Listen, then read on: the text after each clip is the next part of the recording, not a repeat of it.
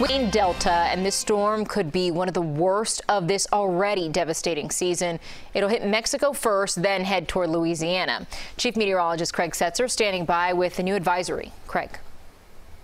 So if there's any good news tonight, it is that Delta has not gotten any stronger in the evening. In fact, it has probably weakened a little bit thanks to some wind shear that's been out there. Unfortunately, the wind shear is not going to last in the coming days, and Delta will likely re-strengthen once again. But as of 11 o'clock, 130 mile an hour Category 4 storm. So it's right on the threshold of being between Category 3 and Category 4, moving west-northwest at 16 miles an hour. The pressure after bottoming out earlier around 954, 955 has come up a little bit. Also indication that it is not strengthening anymore, 135 miles east southeast of Cozumel.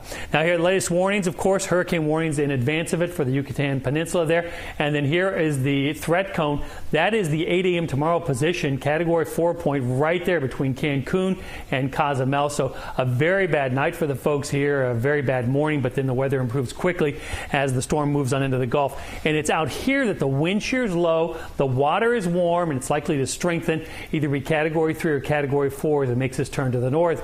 The water is a bit cooler up here, so it will likely be weakening or holding its own intensity as it reaches the coast. But it'll be a growing storm as it gets there, so it's going to be pushing a lot of water with it and a lot of bad weather. That's the way it looks tonight. Not terribly impressive on the satellite, but it's still a strong hurricane, Category 3, Category 4 range. Hurricane hunters have been out this evening investigating very closely and finding that it's continuing this west northwest motion and holding its intensity or just a little bit weaker. Talk about more on that and the models what the latest models are showing and our weekend forecast coming up.